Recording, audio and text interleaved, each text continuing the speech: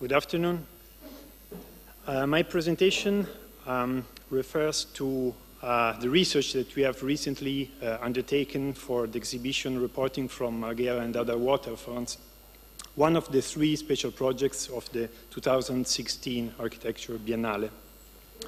This exhibition is uh, an analysis and a comparison of successful waterfront regenerations already realized worldwide with the aim to stimulate debate on the future of the most important and partly dismissed industrial area, areas in Italy.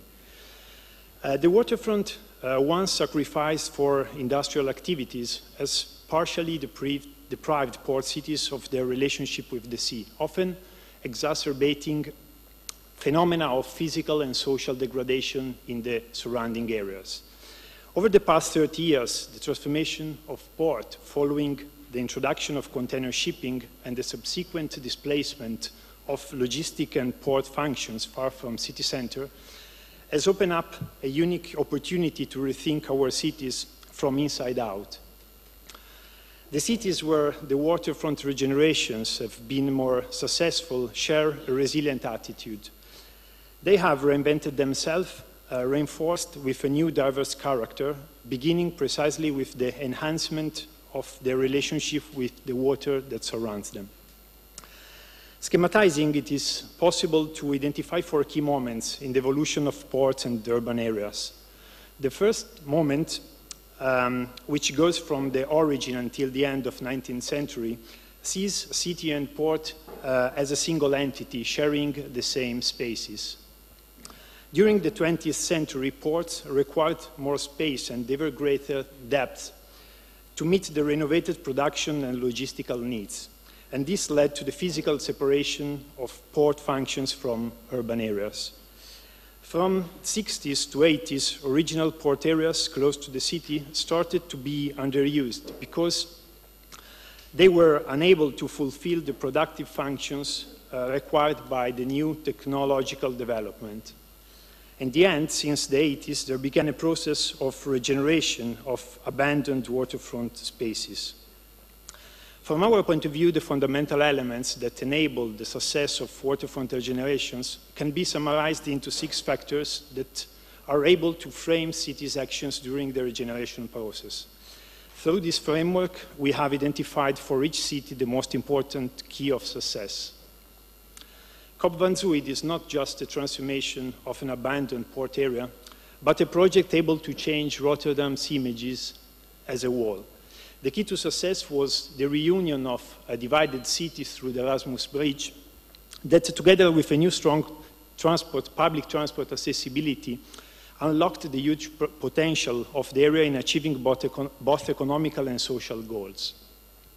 This image shows Kop area with its busy port before the relocation of the harbor westward, which was the starting point for the underuse and the abandonment of this place. This is how the area looks like now, a new piece uh, of city uh, with a lively waterfront characterized by mixed use, development and attractive, attractive public realm. The wall connected directly to the core city center. The Dublin Docklands, with its uh, 500 hectares, is one of the bigger waterfront regeneration in, uh, in Europe. Run by the Dublin Docklands Development Authority, the transformation has been developed through a public-private partnership approach with the aim to create a new urban centrality uh, in the former industrial area. During the 80s, the abandonment of the urban core by manufacturing activities result in changes in the social structure of Dublin uh, with high unemployment rates and increasing social deprivation. To achieve social regeneration targets, private developers have been obliged to provide at least 20% of the new residential development by uh, mm, social and affordable housing. To increase job opportunities after a period of heavy unemployment, fiscal incentives raised remissions, rent and tax allowances, successfully attracted hundreds of international companies such as Google and Facebook, which significantly contributed to the development of a cluster of digital and technology enterprises. Euro-Mediterranean is a huge transformation between the Vieux-Port and the central station uh, run by public sector development agency with a twofold strategy, developing the site and ensuring that the project maintains a balance between economic growth, social equity, and respect for the environment. Until the 90s, a major part of Marseille waterfront was underused, cut off from the city because of the physical barrier of the road and the place most affected by social deprivation. After the transformation, the same place has become the new center of gravity of the, for the world city. With more than 300 sunny days per year, a strong attention was dedicated to the design of public open spaces. They represent the places where urban design could bring quality, making the difference between a gloomy or an attractive and vibrant environment where people could uh, spend and enjoy their free time. In Italy, apart of few isolated experiences, the regeneration of urban waterfronts is still one of the most important challenges to increase the attractiveness and quality of our cities. Venice and Naples, with all their differences, represent the two most important opportunities in this sense. Porto Marghera in Venice, after having reached during the 60s uh, his maximum expansion, providing job to more than 30,000 employees, started a slow and constant decline process. Today, the regeneration of the 1900 hectares is on top of the agenda both of, both of the municipality and the port authority.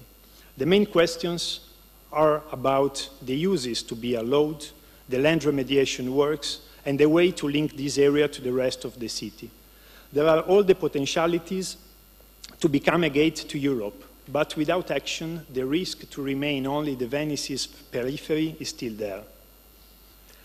The story of Bagnoli in Naples is related to the Ilva company, one of the most important steel factory in Italy, which was closed at the beginning of 90s. After a long period of stop and go for the regeneration of the site, things are starting moving further again. The challenge uh, here is about the regeneration of the area into urban and cultural uses. But many questions are still unsolved, from the difficult connection to the city center to the way to attract private investors or what to do with the big and protected industrial archaeological buildings.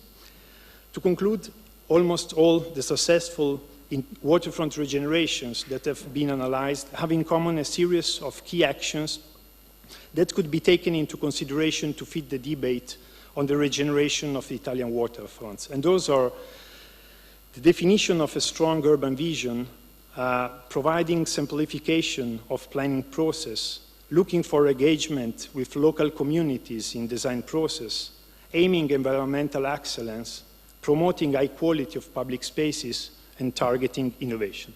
Thank you.